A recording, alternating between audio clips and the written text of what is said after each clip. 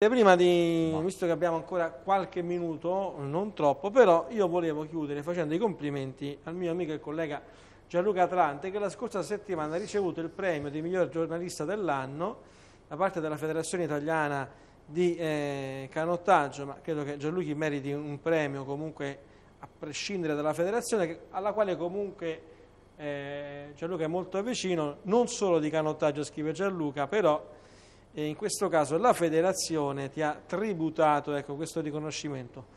Gianluca, sicuramente una serata importante per la tua vita professionale. Guarda, è stata, credimi, è stata l'emozione più grande a livello, dal, dal, punto di vista professionale che ho mai vissuto, perché eh, era una sala piena zeppa di gente che ha fatto la storia del canottaggio italiano e la fa tuttora. C'erano atleti, dirigenti, anche perché c'era in corso in quei due giorni, sabato e domenica, l'Assemblea nazionale per eh, l'elezione del Presidente, poi è stato fortunatamente rieletto Peppa Bagnale. Dico fortunatamente perché è un uomo che ha fatto la storia dello sport italiano e del remo italiano e nel suo quadriennio ha portato quattro barche in finale alle Olimpiadi con due medaglie, quindi i numeri poi alla fine fanno la differenza.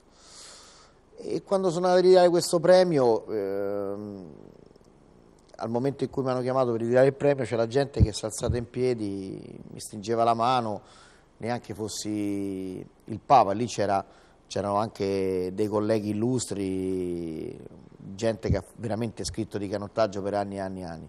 E per testate nazionali. E per testate nazionali, quindi è un premio, un premio speciale, belle le parole del Presidente.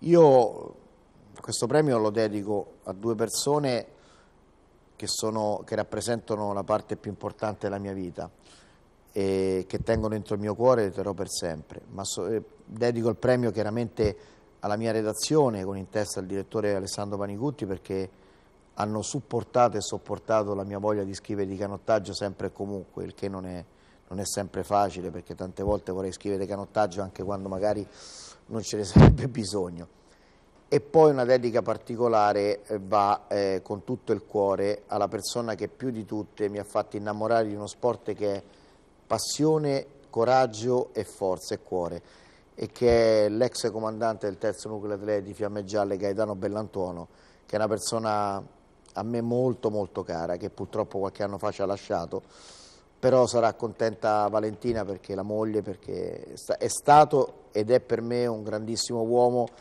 io l'ho sempre sottolineato, il mio gigante buono. Le mie dediche sono queste qui, perché quando poi prendi questi riconoscimenti è giusto ed opportuno che tu ti ricordi delle persone che ti hanno accompagnato in un percorso e ti hanno dato la possibilità di essere riconosciuto da una federazione importante come quella del canottaggio.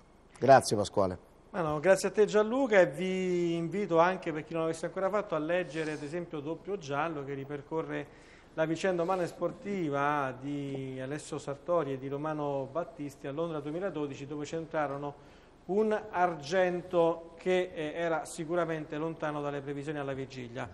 E siete stati gentilissimi anche voi nell'ascoltarci questa sera, una serata un pochino in tono dimesso, come sappiamo, insomma, da questa sera ci sentiamo tutti quanti un pochino più tifosi dello Chapecoense, insomma, quindi andremo avanti anche ricordando questi giocatori. Grazie Gianluca Trante.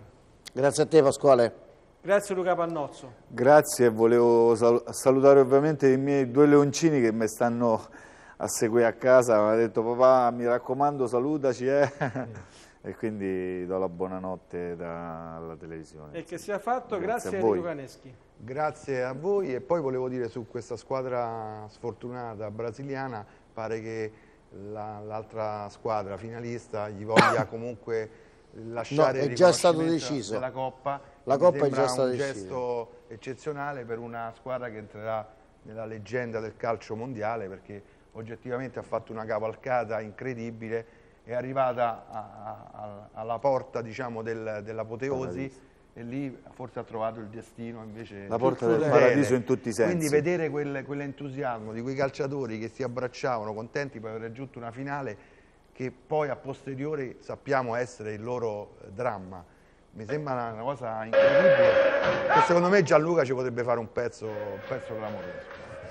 Eh sì, è una, be una, bella, una, una, una, bella, storia, dispiace però vanno... l'immagine più toccante è farla rivedere e loro in aereo prima di partire. Incredibile, Sì. guarda, incredibile. per Medellin. Ma che poi abbiamo saputo un'altra cosa, che loro hanno fatto uno scalo tecnico e avrebbero dovuto prendere un aereo privato. non Purtroppo- gliel'hanno consentito e hanno preso un'altra aerolinea che è Le caduta. trame della... Questo che fa la, la diretta è Maciato, quello che sta a Salerno. Ah, giocava a Salerno. Eh sì, tanti, tanti incroci, tanti destini, tra l'altro Caio Giugno allenatore quello che ha fatto esordire in Serie A nel Paranà eh, Jefferson, Jefferson. che aveva nei- tra i compagni di squadra anche Neto, altrimenti Elio Zampier, uno dei giocatori che sono venuti a mancare. Queste immagini io le manderei a loop questa sera ad oltranza, invece Mamma mia, ma le restrizioni del palinsesto della nostra televisione purtroppo ci dicono che eh, dobbiamo chiudere qui, ma non smetteremo mai di ricordare questi ragazzi. Forza Chapecoense, buonanotte a tutti, ringrazio in regia i nostri ragazzi Luigi Papa ed Antonio Maiolo, Pianeta Nerazzurro, sempre ogni martedì, Lazio TV.